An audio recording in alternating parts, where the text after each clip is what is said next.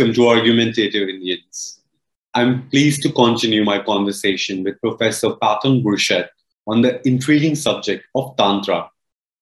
In our last conversation, we talked about India's age of Tantra. We looked at how Tantra gained popularity and royal patronage, rose to prominence, and went on to co opt Vedic Brahmanism. In this session, we will discuss the powerful forces that led to the eventual decline of Tantra in India. We will see how this important system of Indian philosophy and spirituality become conflated with occult and black magic. So join me. Now that we know, have a sense of what Tantra was historically, particularly in the medieval age, then how do we get to this? How do we get to Tantra as understood as um, primarily just black magic, the occult, a kind of dangerous, sinister thing. Um, and how does this contrast with that and kind of good, wholesome devotional religion develop? Well, the most obvious answer is one that follows the logic of what you would call post colonial studies. And that would be that this is the result of the influence of the British and of Protestant, Christian, Orientalist scholars and colonists.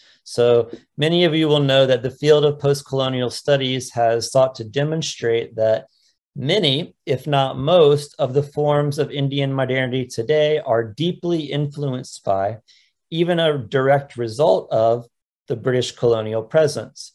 So, just for example, according to post colonial scholars, Indian understandings of science and of what constitutes proper religion were fundamentally molded by and can be traced back to British colonial attitudes, British categories, British modes of thought. So, one of the changes that it's generally thought that the British brought about was the shaping of Indian conceptions of religion into a shape conforming to European Enlightenment dispositions. So, Europeans had had uh, you know as a result of their own history had these categories of this is proper religion and this over here is not. That's magic. That's not proper religion. And this uh, this argument would be that basically these ideas rub off during the british colonial period on indians. And orientalist characterizations of bhakti and tantra would seem to offer evidence of just this. When you look at late 19th early 20th century western scholars they drew on native Christian, especially Protestant conceptions of religion as being something that's monotheistic, something that's personal, something that's faith oriented to identify bhakti, first with Krishna worship, but later with the larger category of Vaishnavism. And in this process, they characterized bhakti religion as a kind of reformed Hinduism, an Indian instance of Christian like monotheistic devotion to a personal God. On the other hand, however, tantric forms of Hindu tradition, with their focus on power, their sometimes bloody and erotic imagery and rites, served as the magical foil to bhakti religion and were quickly singled out as India's darkest, most irrational element. The extreme Orient, the most exotic aspect of the exotic Orient itself. In particular, we see this in the work of Monier Monier Williams, a 19th century British scholar of India. He wrote that bhakti, which he identified with Vaishnavism, is, quote, the only Hindu system worthy of being called a religion. And he stated furthermore that bhakti alone among Hindu religious forms possesses the essential elements of a genuine religion for there can be no true religion without personal devotion to a personal God. When it came to Tantra, however, Monier Williams had a very different opinion. It was he who actually used the term Tantrism for the first time as a singular monolithic class. And he remarked disparagingly that Tantrism is Hinduism arrived at its last and worst stage of medieval development he asserted that the tantras are generally mere manuals of mysticism, magic, and superstition of the worst and most silly kind. So, here in Monier Williams' conception, which I think is a very typical one of the time, Bhakti, with its more familiar, rational, Christian like devotional approach, gets defined as religion in opposition to Tantra, with its unfamiliar, unapproved perspectives and practices, which gets labeled as magic and superstition. So, as this story typically goes, these Western colonial perceptions then got appropriated by Indian reformers of Hinduism, from Ramohan Roy to Bharatendu Harishchandra to Swami Vivekananda, who would raise up bhakti and Vedantic philosophy while criticizing Tantra as a corrupt tradition of magic and superstition that needed to be cleansed from Hinduism.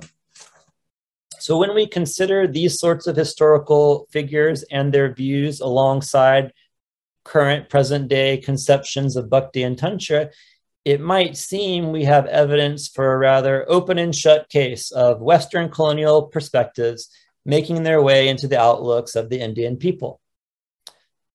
I'd like to suggest that this is, in fact, not the case, or at least that the situation is not at all so simple. My take, the whole take of my whole book is that post-colonial studies and that approach has we've learned a lot from it and there's no doubt that colonialism had a huge impact on indian culture and on the makeup even of indian society today this is undeniable and post-colonial studies has shown us you know the details of that. However i think the kind of pendulum of post-colonial interpretations has swung a little bit too far um, to the point that now many scholars seek the answers for modern indian perspectives only in the colonial period and fail to look back further and see continuities.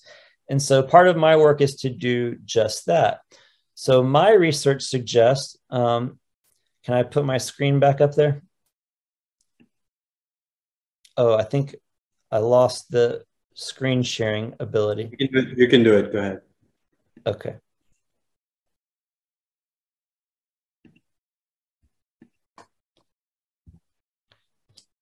This is my answer that, in fact, the origins of modern day Indian understandings of bhakti and tantra actually lie in India's early modern period, roughly 1500 to 1700, before the British had any significant presence in India.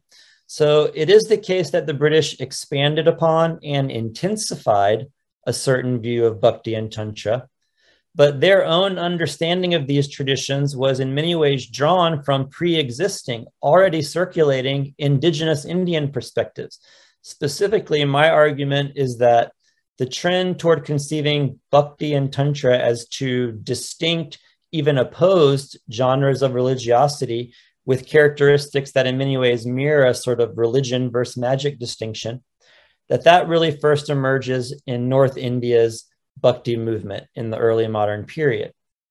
So let me kind of um, unpack that argument. That'll be the last part of today's lecture. So historically, the end of the tantric age um, really begins. I mean, I'm going to try to. I'm going to not read through all of these points. I'll let you do that on your own. I'm just going to try to um, to summarize them in my own words as you read through them. But in short, the tantric age ends with the Delhi Sultanate. That's overly simplistic, but for our purposes, we can we can frame it like that. Um, Delhi Sultanate period 1206 to 1526. And essentially, one of my arguments is that while the British colonial period is, is important to talk about and changed so much, um, sometimes in emphasizing that, we forget about how much India changed with the influx of Persianate Turks into India um, and Islam and Sufism, and really broader than either Islam or Sufism, Persian culture um, comes into India in a major way, and um, with the Delhi Sultanate, and essentially, um, you know, I think it, there's a problematic kind of narrative of of Indian history in which this is a Muslim invasion um, to identify the people who came in as first and foremost as Muslims is really to miss the larger picture. they were that was their religious identity but that wasn't how indians at the time perceived them first and foremost or even how they understood themselves first and foremost that's a that's a sort of projection of modern day um, kind of categories that are focused on religious identity onto the past in fact these were ethnically turkish people for the most part afghans as well who culturally and this is culturally and linguistically and this is what's most important were persian and there was a very rich Persian culture that Islam was a part of. And this was a particular version of Islam, right? Because Islam, of course, originates in an Arabic context, in Arabic language. But as it moves eastward into the Persianate region, uh, including modern day Iran, but also Afghanistan and Central Asia, then Islam is Persianized and changes. And so it's a particularly Persian form of Islam and Sufism that comes into India as part of a larger Persian culture. But the key point is that as these Persian Turks achieve military and political dominance over most of North and Central India, there are some temples destroyed and desecrated, and that's another topic. The, the, the reason for the destructions um, in general was not religious antagonism it was a very political motivation because temples were sites of royal power. This was something Hindu rulers have been doing to each other for centuries. If a Hindu, you know, upstart chieftain wants to take over a kingdom, the first thing he's going to do is destroy that ruler's royal temple because it's the symbol of his political power. So this was happening in India that kings were destroying each other's temples and the Persian Turks just followed that practice because that was how you delegitimated delegitimated the ruler. So there were temples destroyed and desecrated, but once the initial conquest was over, there's no evidence that those destructions continued. In fact, both under Sultanate and Mughal rule, Hindu temples were patronized by these uh, in, in, the, in this era. But the point is that Persianate culture, the real conflict isn't Hindu versus Muslim. That's not how it was understood at the time. It's Persian culture versus Brahminical Sanskritic culture. That's the real conflict. Because for millennia in India, to express yourself in you know literature to express yourself in the arts in scholarship the language of power and sophistication was sanskrit. That's unquestioned. And who was the who were the arbiters of sanskrit? The brahmins. And brahmins were just assumed in indian culture to be you have to have your rules sanctified by brahmins. Brahmins are these just crucial kind of class. The persians who came in they just didn't share those assumptions sanskrit that's not special to us. We don't feel like you know a, a, a scholar you know a work of scholarship or um, philosophy or literature needs to be in sanskrit for it to be good. And we also don't feel like we need to be consecrated by brahmins to be like valid rulers. So that was the real conflict. And what you have is as Persianate culture expands militarily, politically, but also just culturally, um, there's no longer the same support. The no, there's no longer the royal patronage for tantric institutions that was there before. And so institutional tantra gradually kind of declines. Um, and you see that in, in the written comments here. So um, here's just a quick slide on Delhi Sultanate which really is a, a, term, of course, referring to five different Sultanate dynasties. Um, and this is the period um, when, you know, Islam and particularly a Sufi form of Islam becomes a major influence and a really, and what you might call an Indo-Persian culture forms that, um, you know, is impossible to, to parse out today. Like we know that Hindi and Urdu, for example, at the spoken common level are basically the same language. Like that's just one kind of um, indication of how Indo-Persian culture like merged together in ways that we can't like now, um, like piece apart, you know, pull it apart. It's it's impossible. Um, so the Delhi Sultanate, um, critical time, and in the Delhi Sultanate, we have it's not so much that tantra completely dies it's just that institutional public patronized tantra goes into decline so tantric ritual forms and techniques persist but often in non-tantric contexts so many of the rituals developed in tantra still keep getting used, but they're not in the same context. They're in the context of bhakti or they're in the context of Vedanta understandings. Um, at the same time, while sort of these major traditions like Shaiva Siddhanta and those tantric monastic orders go into decline, there are sort of less patronage dependent lineage of tantric ascetics that continue to persist and even um, become more popular. The, the primary example being the Nath yogis. So I would argue that the Nath yogis are, in fact, the primary public representatives of Tantra after the Delhi Sultanate. And these, uh, of course, they trace their roots back to Gorakhnath and Matsyendranath. Um, they have roots in the Siddha tradition and in Kaula Shaivism. Um, but the Naths are really a very diverse group. They're not um, they don't they didn't share any particular system of practice or even uh, ideas. They had there were certain kind of things that linked them. They had distinctive insignia. They often wore large hooped earrings and a singi a horn around their neck. So there was a, a sort of a visual identifier. Um, and they basically had what I call them the main representatives of Tantra. Is they their their whole process was becoming divine right? And accessing divine power.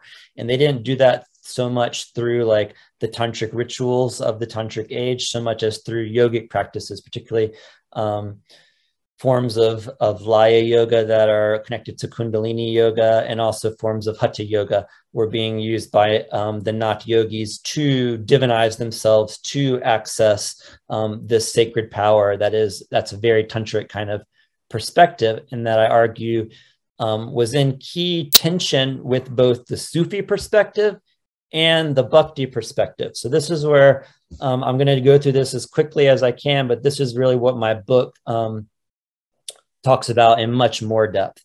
Like actually, there's only one chapter in my book about the tantric age. Most of my book is about the early modern period, the rise of the Bhakti movement, and how it distinguishes itself from um, tantrikas and yogis um, in uh, especially the Mughal period. So one thing that's key about the Delhi Sultanate is the spread of Sufism. Who are Sufis? You see again, they emphasize a direct mystical relationship with um, with God. Um, the model Sufi is in many ways has parallels with both with the Hindu bhakta, right, and and Hindu ascetics, in that they're both seeking to annihilate the ego self to get into a transformative, intimate relationship with the divine, and they're doing that through asceticism, meditation, and passionate devotion. These are things that are these traits really set them up in, in parallel with Hindu bhaktas who um, were doing much the same if directed toward different deities, of course. So the Sufi tradition, very, you know, I won't go into depth on this, but it expands across India during the, the centuries of Sultanate rule and becomes a major cultural force. The predominant form of Islam that influences Indian culture is a Sufi form. Um, there was, of course, a more um, uh, which a form that's connected to the ulama that was much more conservative, especially in the urban centers. Um, but their influence on the broader culture wasn't wasn't much at all compared to Sufisms. Um, so here you see that um, Sufis were actually interacting with the Nath yogis and other tantric yogis quite a lot, and they, there's lots of writing showing this. They were borrowing from each other. Sufis were taking tantric yogic techniques and melding them with their own Sufi practice. But my take is that mo- more important than their similarities is their differences. And you can see that on this chart here. You see what the religious goals and attitudes of the Nath yogis, so tantric yogis, were in contrast to that of Sufis. And the reason I put this up here is because one of my arguments is that North India's Bhakti movement is what I call Sufi inflected. It's influenced in very subtle ways that aren't, aren't often direct by Sufi perspectives. So it's not so much that everything in Bhakti doesn't have a distinctly Hindu sort of precedent. It does, but it's why those particular elements of Hindu tradition kind of become important when they do I argue is because they're resonating with Sufi perspectives that are becoming more and more prominent in the Indian subcontinent that have to do with the goal of divine love and experiencing that humility before God and passionate love and longing for God, conceiving God more as love than as amoral sacred power. These are pretty big distinctions. And on, on these distinctions, Sufis are far more like Bhaktas, and both are quite distinct from Tantric yogis. So this is my point in that um, line that just came up. So this brings us to the Bhakti movement of North India that occurs during the Mughal period. Again, just briefly, here's um, a map of the expansion of Mughal Empire over multiple centuries, 1526 to um, really, I'm just going to the through the end of the the rule of Aurangzeb. Here's the Mughal Empire I'm concerned with. But interestingly, when North India's Bhakti ha- movement happens, is under Mughal rule. It's patronized by Mughals, and um, you know a key part of um, the Mughal sort of administrative apparatus was Rajputs, Hindu Rajputs, um, particularly as I talk about in my book, Kachwahas from um, Rajasthan. Um, so Man Singh is one that most most of you have heard of. Really key Kachwaha, who was very high up in the Mughal administration and working with Akbar, and but there are others, Kachwahas and other Rajputs as well, who were very important and influential within the Mughal Empire and were working with the imperial apparatus as they were um, patronizing and really providing the sort of financial and physical support necessary for India's Bhakti movement and North India's Bhakti movement, I should specify, to kind of explode like it did. So uh, here we go. Here are just some key features of that Bhakti movement. I won't, I'll let you just skim through these. Um, the one that I want to emphasize, all these first three are ones that other scholars have talked about. The one feature that um, my work is somewhat unique in emphasizing is this last one that a key feature of Mughal's Bhakti movement was the expression of a devotional sensibility that was distinct from and often positioned in opposition to explicitly certain tantric and yogic paradigms of religion.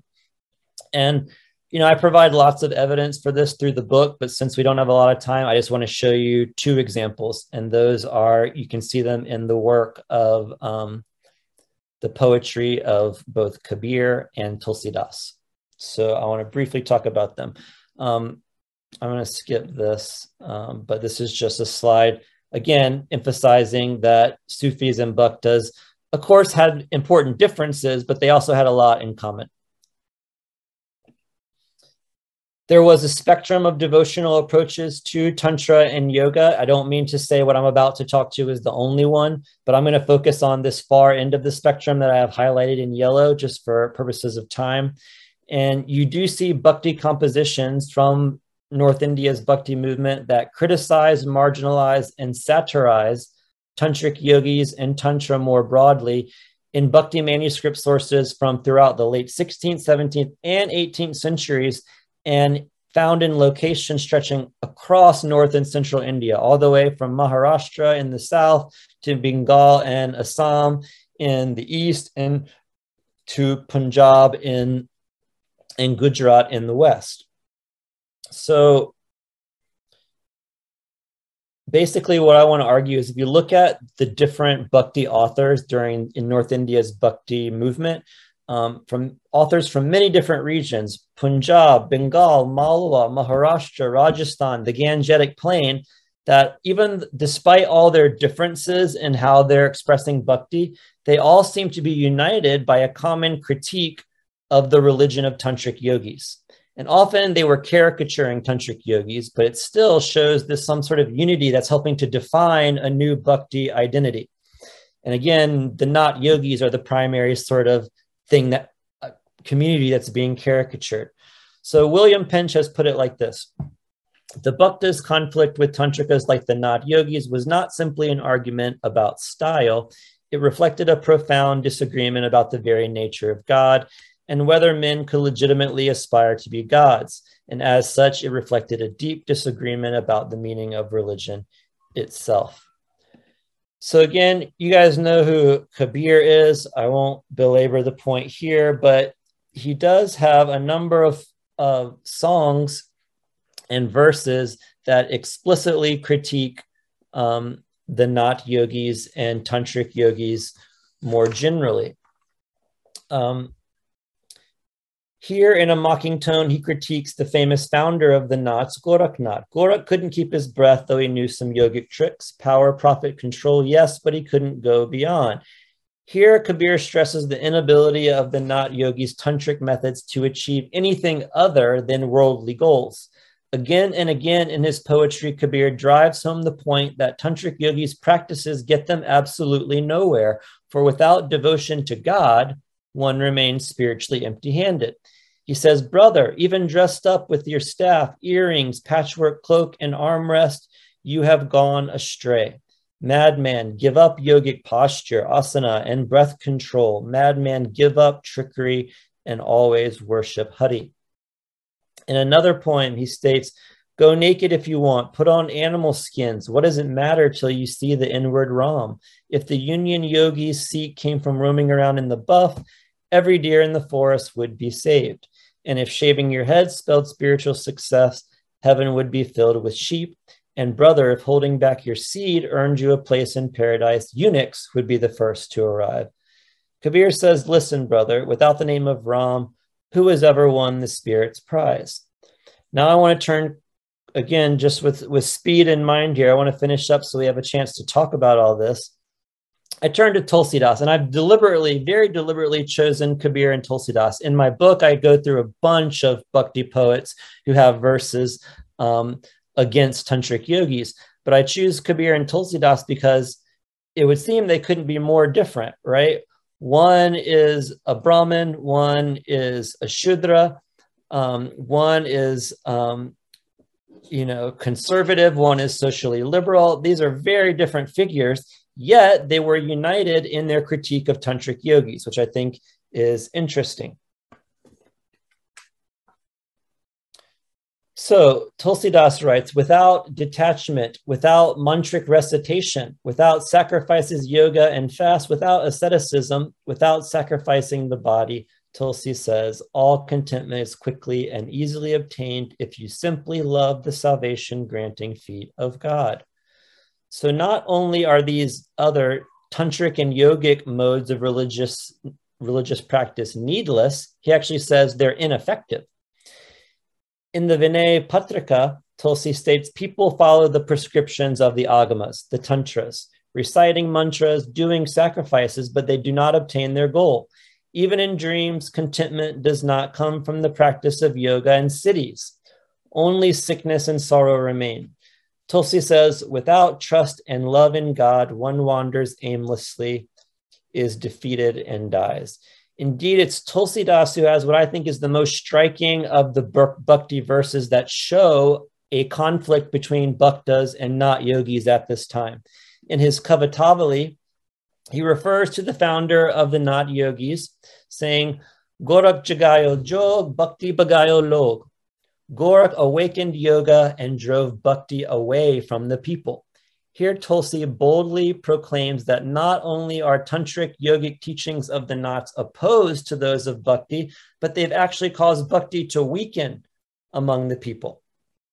So, again, this is a very kind of quick, abbreviated way of showing you that bhaktas across the spectrum in Mughal India were writing against often a caricatured tantric yogi, especially the Nath yogi, as a way to define a new vision of bhakti and devotion as a sort of proper religion in contrast to magical tantra um, that is very sort of selfish and arrogant in in comparison to the humble religion of um, of bhakti and I think that here you find this pre colonial kind of evidence for a Bhakti Tantra distinction that isn't exactly what we have today, but you see how it informs it in hugely important ways.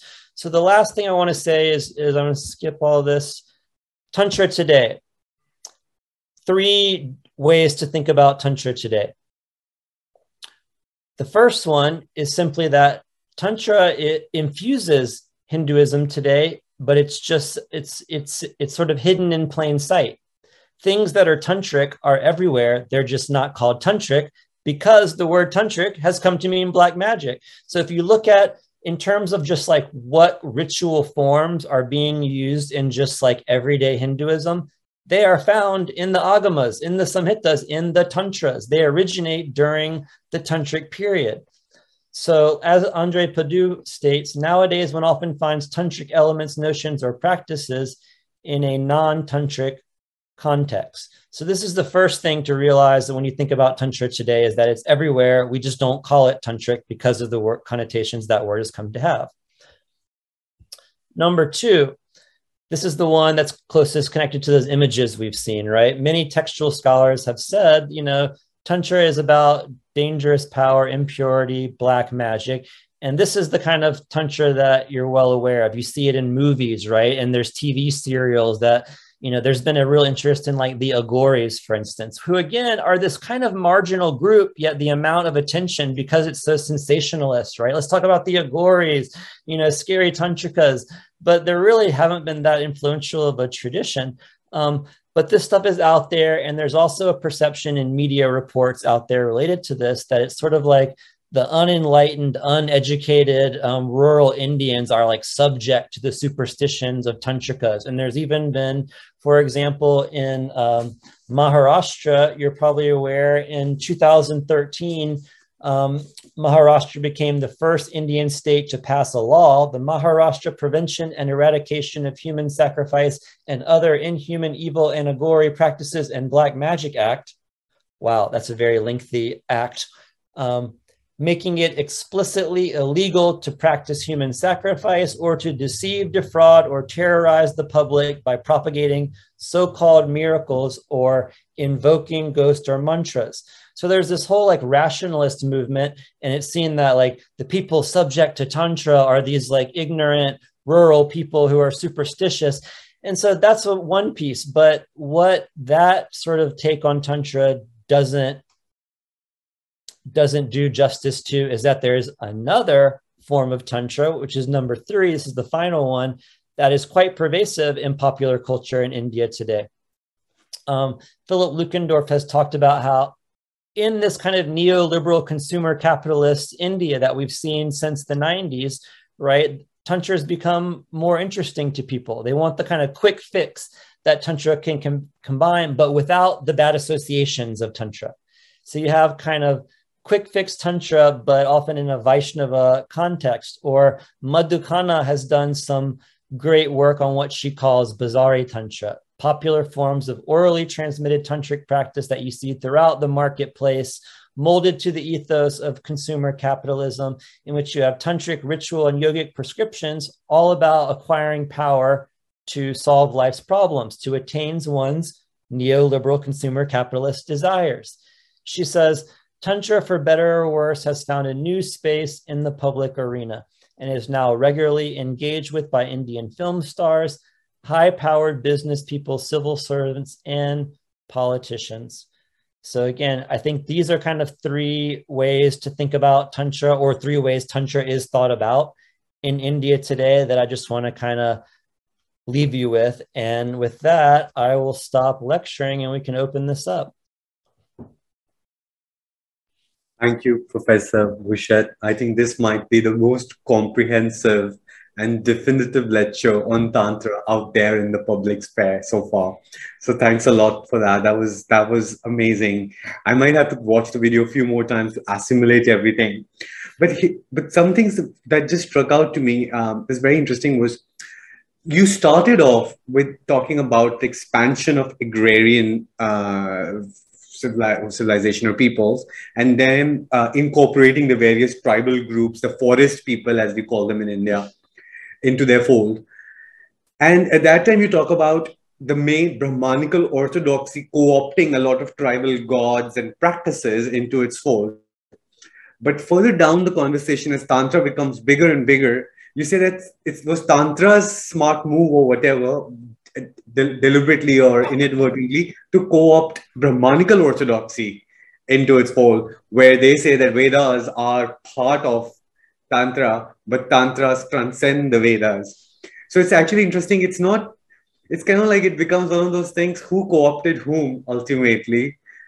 And um, because it, at some point, it seems to make a lot of sense that perhaps these were pre Brahmanical customs in India, or, or at least in certain among certain groups of India that continue and become because go, the way we see these fierce goddesses in Tantra, they don't seem to fit into the whole Vedic setup. Um, so it seems that they do come from a different religious thought lineage and they sort of became part of it.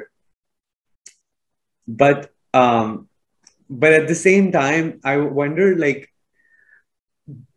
there is seems to, at least when we talk about the practices like you mentioned involving corpses skulls blood meat ashes even sexual fluids. Now these are impure practices. So my question is like were these practices already going on among the forest people or whatever and they became incorporated and they sort of make, made their move sorry came into the mainstream? Or was this like a conscious refutation of Brahmanical orthodoxy at some point, where because of its exclusive nature and its tough hierarchy, there was a sort of a subtle revolution among the people where they rejected its concept of purity and deliberately started doing everything impure this is i mean there's not an easy answer this is a, still a question that that scholars debate with one another. Um, so I would say that um, much of the transgressive sexual rituals, in particular, um, that develop within Tantra um, are developed by Brahmins who are um, feeling like um, in specific secretive, that's important, ritual context, that they can break all the purity codes of Brahmanism in the most radical ways, and that that will sort of um, slingshot them to liberation. You know, so here you think of people like Abhinava Gupta in the Kashmiri Shaiva tradition, where you have, um, you know, this wasn't again it was important this was done privately. These these brahmins would not have wanted people to know they were doing this but in the context of secret rituals there you know you're the most polluted of substances you're consuming. You're having sexual relations out of wedlock so adulterous sexual relations often with um, this is a brahmin often having it with a, a dalit woman you know and that was very deliberate to just um, that by that these sort of social obstacle, these sort of social categories and restrictions are ultimately holding you back, your mind back from fully becoming liberated. But that was a that was totally a Brahminical thing. It wasn't so it was it wasn't like non-Brahmins weren't really doing those rituals. So they, they're transgressive, but they're made by Brahmins for Brahmins. However, there are parts um, David Gordon White's book, Kiss of the Yogini, talks about um, sort of pre Brahminical, um, you know, more indigenous roots um, with yogini traditions for some of these ideas about the power of sexual fluids. Um, so it's not quite as simple as what I just said. And the part that is definitely, I feel like, part of indigenous traditions um, is the blood sacrifice part. So separate from the sexual stuff, um, the sexual stuff, I think, for a lot of Indians would have been would have been transgressive and wouldn't have been part of popular practice. That was happening in secret ritual context and by elite, typically high caste practitioners. However, the very idea of blood sacrifice, I don't think would have been considered transgressive to most everyday Indians. Like if you're living in rural society, goddess worship is very popular and many of these goddesses, the idea is that um, they are giving out their life energy in order to sustain the world, right? Their Shakti is coming out into the world to sustain um, the earth itself and nature, but also human life. And in giving out that Shakti, they need to be reinvigorated, these goddesses. And how do you do that? you re- you with blood with with blood sacrifice right so that becomes a fundamental part of um, kind of hindu religiosity at you might say you know an indigenous a, a folk level um, early on and, and and persist to the present in a way that i don't even think it's fair to consider blood sacrifice as as transgressive if that makes sense okay but so just to go on further with that so for example i'll take one i'll take one specific example.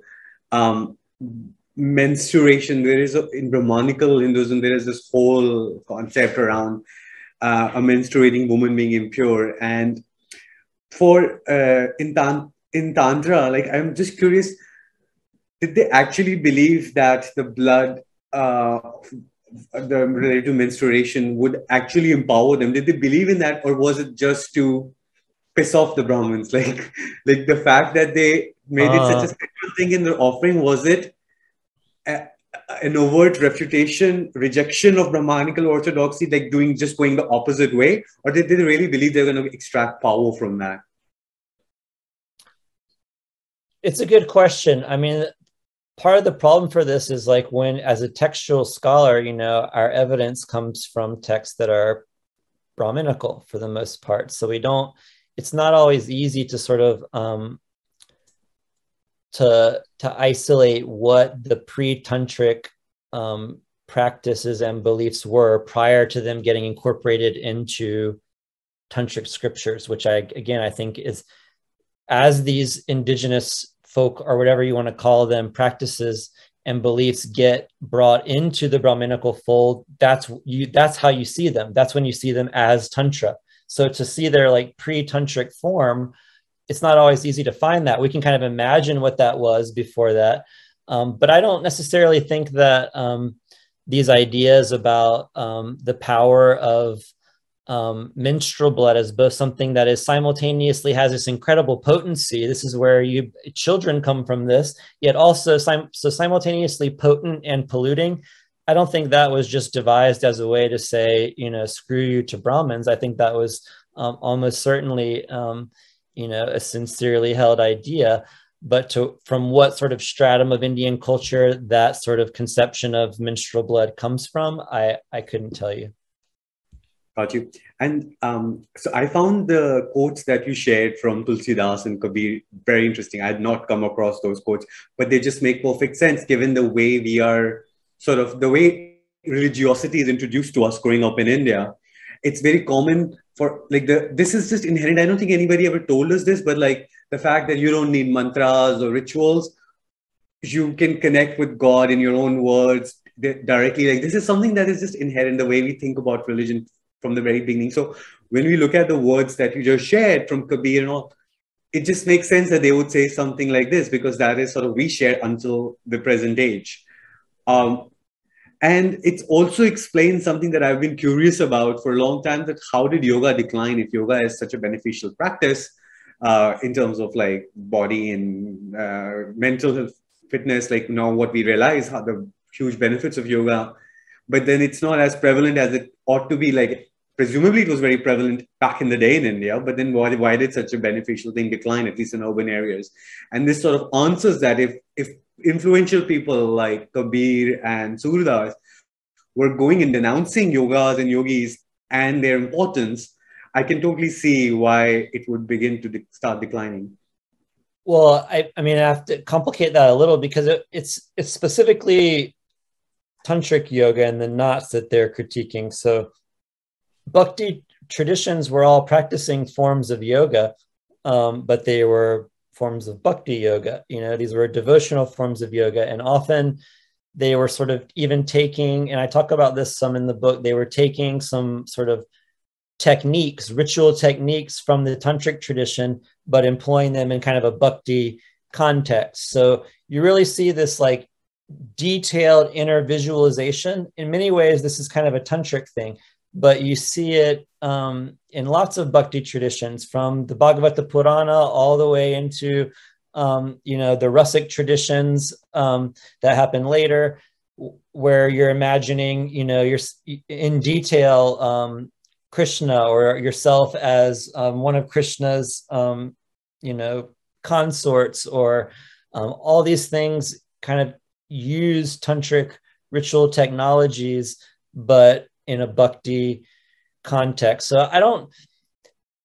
That's interesting that you feel like yoga sort of declined because that's not exactly the point I'm making. I mean, yoga gets totally, that's a whole different story, of course. It gets totally transformed what yoga means and there's um, you know modern yoga is born in during the colonial era of course and mark singleton's written about this and lots of others but yoga i don't think really goes anywhere in this period it's just that bhakti is defining its identity and part of that new identity is you don't need to perform these intense yogic practices or tantric rituals in order to achieve liberation all you have to do is love God, sing God's name, um, listen to the stories of God, you know, and and this is the heart of it. And for especially like ascetic communities like um, Bhakti Sampradayas, like the Gaudiyas and the Ramanandis, they were still practicing forms of, of devotional yoga.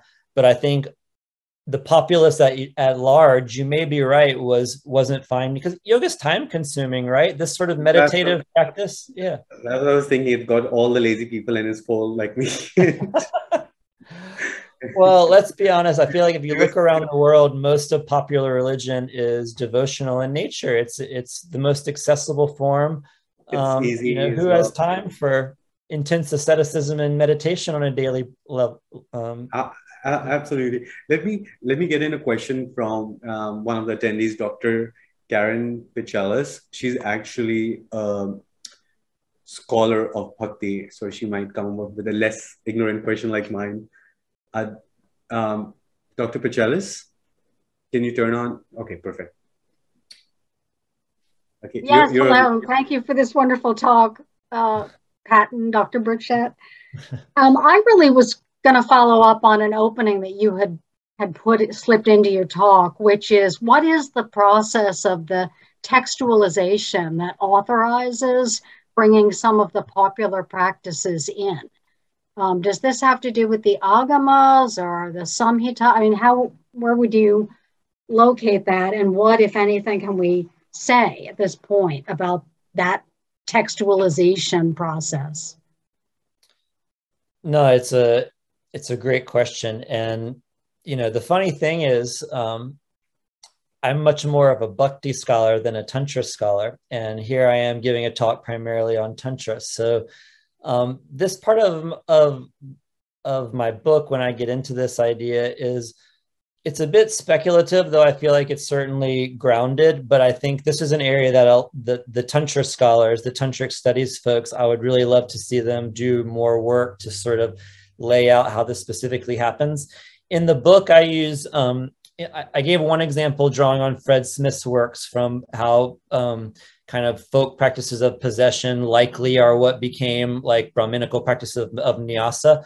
But a more specific example I give is from the work of um, Michael Slouber, who talks about um, the Garudika tradition. So there are all these um, Bhuta Tantras and Garudika Tantras, where basically um, the Tantrika in these texts is essentially a kind of a healer, and, and their focus was especially healing um, snake bites. And so it seems very likely when you look at what these Garudikas, like what they're doing, what they are, it just, you know, again, I don't have, that's where the actual like detailed research needs to be done to lay this out but it seems very clear that they must have been some sort of like indigenous healer type personality um, that had some sort of shamanic form of possession of Garudika and was then doing healing th- from it. And then you look at the Garudika Tantras and you see that sort of figure get textualized. And what they were doing, this that was probably a kind of loose, orally transmitted form of like um, possession and healing, get sort of codified into a tantric ritual form. Um, in the in these tantric scriptures, the Garudika tantras. So I don't know if that helps, but unfortunately, I don't like get into the details of that process really any more than that. But, but I would, I hope scholars kind of do do that dirty work. that just, That's that just reminds, a great answer. Thank you. that just reminds me of like really famous films from India from the 1980s when um, they would have these tantrics and shape shifting snakes and how the tantrics, uh, especially and especially the Nath tantrics, right? So they would show those cults where they look at Gorakhnath uh, as their sort of founding uh, figure, and then they would they would basically have the powers to to get to um, to sort of like overpower these shape shape shifting snakes who get their divine power from Shiva and everything. So it's actually really interesting because I mean they, these were all like works of fiction. I don't think they were based on any, perhaps on some folk stories, but not definitely not on any kind of uh, um, scripture or literary literary works. But uh, in those days, these films were popular and like they're sort of like created our first impressions of tantrics as these really powerful but as you said, immoral beings who mm-hmm. can choose to be moral but can choose to be immoral. It's totally up to them. And that sort of some of these films actually explicitly say this that you you invested so much in your uh, siddhis, the powers. You did all these ter- difficult uh, meditations and uh, yoga, yogi, yogas and all that, and you achieved all these siddhis. But yet you chose to take the wrong path. You could have used all this for a good purpose but you chose. So that it's interesting because religion the way we think about it at least in modern day is is inherently moral right? When we think of god it's almost like synonymous with good and god should always take the side of the good of the honest and support them and always be make I, I guess like truth will win over evil or good forces win over evil. That's like a very basic. I guess if we make forget about all the rituals and practices which may come from Tantra, I think this is the biggest difference that we have from Tantric philosophy. That contemporary God is not amoral, is inherently moral. Like morality is defined by God. You're supposed to be moral because that's what God wants you to do. I agree. And again, I think this is again, it's maybe you can't assume influence necessarily, but this is an interesting way where Islam and Bhakti line up, right? There is a supreme God who, by definition, is moral, is benevolent. That's a key aspect of that deity's identity, that supreme God. Whereas you're right, for the Tantrika, um, the divine is power, and you access that power, and maybe you use it for good, maybe you use it for evil but it, the divine is power to be accessed and employed. Yeah. And fascinatingly, um, many of the ancient religions were ambivalent about God's morality in a similar way, not just in India, but I think even if you think about the ancient Greeks, their religion, the gods are not necessarily moral, they're just powerful. And so it just sort of makes sense that, well, it just supports, I don't know, this is all conjecture, but it supports uh, the view that these some of the tantra's ideology may have pre-existed in India for a very long time.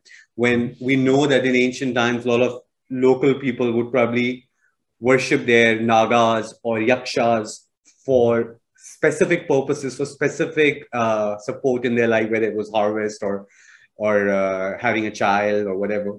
So those gods are not necessarily moral. You worship them, you make them happy, and you get whatever you want. And to me, this is quite interesting because later on in uh, Bhakti period, like the I guess I, I haven't I can't I'm, I can't talk at length about Gita, but the, one of the most um, important things that we learn about Gita is that God says that you shouldn't worship all these other gods for small, small, different, different things because then you will get distracted from your path to moksha I, I, guess you you were saying something similar about Patanjali telling people not to go get into all these other yog siddhis. But th- this is one of the things. Like there is an incident in Bhagavad Purana where uh, Krishna actually tells the people of a village not to worship a Vedic god, uh, who are villagers afraid for good weather and all that. And he says you should only worship Vishnu in the Vaishnava tradition. And mm-hmm and because they don't, then that God brings calamity on the village. And that's when Krishna, as a child, he lifts up a mountain and still saves them from that calamity. So, but still saying that like you shouldn't get distracted and go to these various gods. But you can see there's a really there's you can sense that there is a movement going on, trying to bring in all the people into your fold, uh, taking them away from whichever different cults or religious streams they were sort of involved in. I, I, I, I, find all this really fascinating in terms of like what we can interpret from these religious scriptures in terms of this, what was going on historically at the time, like the social forces that were at play. You also see this in the level of um, mantras, right? So in, in tantric tradition, there are all these different mantras, some of which are semantically meaningless, right? These bija seed mantras um, but they're considered to be the forms, the sound forms, sonic forms of deities.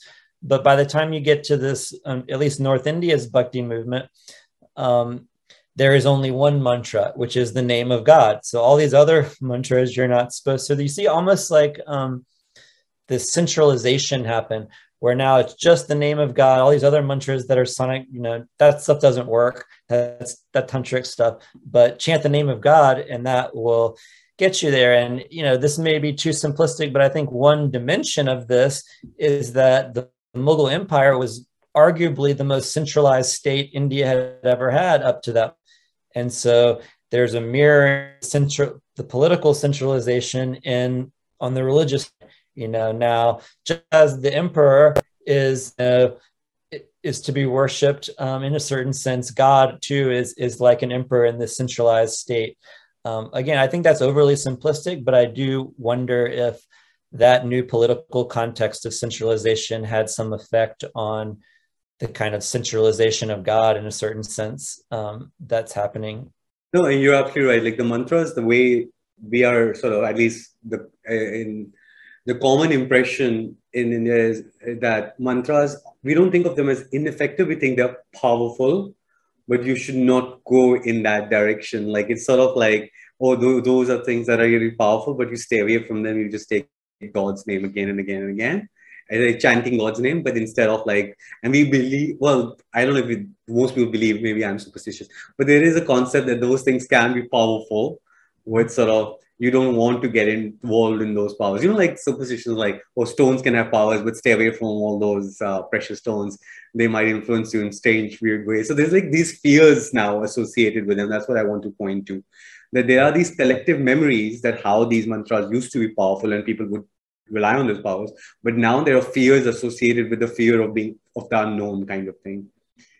Which is why the the tantra that's kind of making a comeback is is typically very quick to identify itself as white tantra. They often use that that word, you know. So even it's mixed with kind of the new age spirituality scene in India, where you have people talking about the power of mantra, of Kundalini yoga, of you know, but all kind of typically put to use for some sort of consumer capitalist desire, you know, so I can get this career or get this material thing that I want. Um, it's it's been interesting to see kind of tantra get repurposed in that way. I wonder if it actually ever disappeared because I think in India has its ways that everything sort of coexists. It just goes morphs into something else and like stays in these various pockets and then reemerges at other times. Uh, and right. and I have been to temple. I don't want to get too much, but I have been to like temples where uh, tantric traditions are practiced fairly overtly, and although it might sound like superstition and all that the mantras and like just chanting off something but i in my personal experience what it does is that it does create some sort of energy around it. So it's hard it doesn't make sense until you experience it. And when you experience just the rituals and having to go through all the rituals even if you don't understand it it does create uh, a kind of vibe and energy. And i can see why people would find that spirit a, a spirit spiritually moving and why they would have these spiritual experiences through those mantras and those rituals. It, uh, I think it's one of those things that you got to experience to be uh, to to make sense of it. But I just wanted to very quickly come on the, to the last question I had, which was that you talked about Delhi Sultanate, that how the uh, well the royal patronage as well as the popularity of Sufi sects, as well as on the other side the fa- rapid expansion of bhakti uh, and both de- denouncing uh, tantra kind of resulted in uh, tantra sort of getting moved to the periphery of the Indian religious spectrum, and also it lost royal patronage. Um, so that is well understood. But I just I'm just curious as to before, like during tantra's age of prevalence, when it was the dominant form of religiosity. So before the Delhi Sultanate, were there still groups that were um, that rejected tantra and were still standing aloof, sticking with uh, Brahmanical orthodoxy or some kind of Puranic traditions, but rejecting tantra and denouncing it even before the Delhi Sultanate period? Certainly, yes. Um, and particularly those um, who main, re- remained within Brahmanical orthodoxy, they just said, no, Tantra is not a valid revelation. So there, there were plenty of groups that were um, opposed to these tantric communities. Um, and again, that's you know that's all occurring in that's the kind of sphere of uh, that other scholars are going to be able to answer this question a lot better than, than I am. But the short answer is is yes. There was there were definitely um, the Brahminical um, orthodoxy that uh, opposed these tantric communities and the new kind of newfound power that they were they were getting. And um, i think that would be the prime the, the big difference though is there isn't that kind of um, there isn't opposition coming from the bhakti side earlier on um, so far as i'm aware. It's coming more from orthodox brahmanism um, because they've got their position taken from them right? And they don't think that these tantras are valid revelation um, but you don't see um, early on during the tantric age so far as i'm aware you don't see any kind of bhakti traditions critiquing tantra or critiquing tantrikas. They're they're thoroughly kind of merged together. Okay understood. Well thank you. That that was very enlightening. I thoroughly enjoyed the conversation and i hope uh, everybody who's going to watch this video is going to find it like very enlightening there is so much lack of uh, knowledge around tantra and it has been uh, if, if people have sort of like going back all as you said all the way to 1200 people have been denouncing it and tarnishing it. So even if we do like one drop of effort in terms of rescuing its image how much it's been tarnished i think that goes a long way. So i hope people who watch this video if you find this interesting if you thought it was informational educational do please share it among your own network uh, so that we can sort of help in dispelling a lot of misconceptions that surround uh, Tantra, which was and continues to be a great uh, school of philosoph- religious and philosophical thought in India. And thanks a lot, Dr. Uh, Professor Patton Burchett. It was a pleasure to have you with us, and we hope to have you with us again in future. Thank you. Thank you for having me. Bye.